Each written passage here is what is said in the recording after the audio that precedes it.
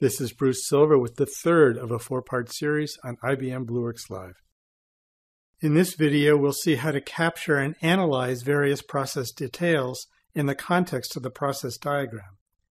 The Space Details page is a good place to put the project description and list its primary goals.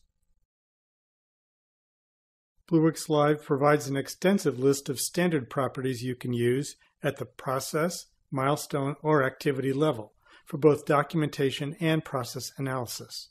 We can associate a value of any of these properties with a selected activity through the Details panel.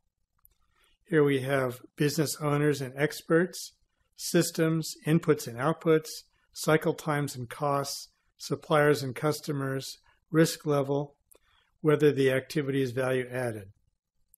In addition, you can add up to 10 additional custom properties as dictated by your process improvement methodology.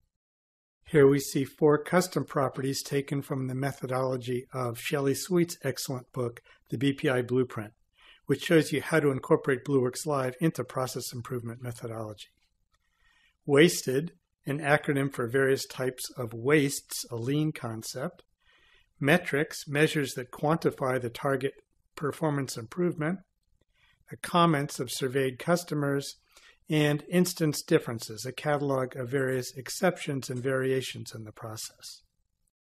Alternatively, the documentation page, clicking Show All Details, provides a single form where you can add properties for all the activities.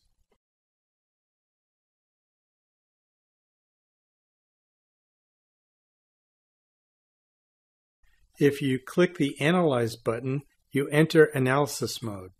Here, process properties that you select are displayed around the edge of each activity in the diagram and are also listed in the sidebar on the left side of the page. For example, here I've selected the custom properties wasted, sources of waste taken from the lean methodology, and customer comments. The BPI Blueprint book describes how these are used in process improvement analysis we see this particular waste E5 occurs in four different places in the process listed here. If we click on E5 here, the activities where this waste occurs become visible as a red icon above the activity shape, even if the activity was previously hidden inside a subprocess. Hovering over that icon, we see all the wastes for this activity. The customer comments were mostly at the process level and the icon for that is floating in the diagram. Hovering over that, we see them all.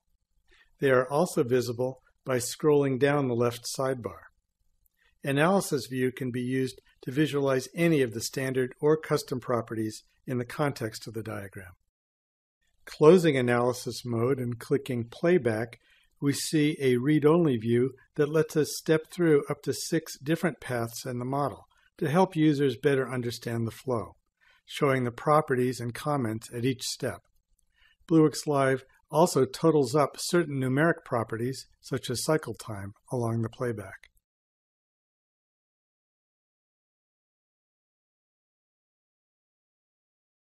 While Blueworks Live provides a long list of properties, you probably won't use them all. To customize the tool for your particular needs, a Blueworks Live user with administrator rights can select the properties displayed to users and can also define up to 10 custom properties, 5 text and 5 numeric, for use in analysis. Authorized users can standardize the list of preferred property values through the glossary. Otherwise, it's common for different users to apply slightly different names to the same thing. For example, let's select some preferred values for the roles used in the participant property. The glossary collects all the values that users have entered. A user with glossary privileges can merge two of those values into one and propagate that to all models that use those values. Here, HR Specialist and HR Assistant are really the same role. So let's merge HR Specialist into the preferred term HR Assistant. In the next video, we'll take a closer look at Blueworks Live's collaboration capabilities.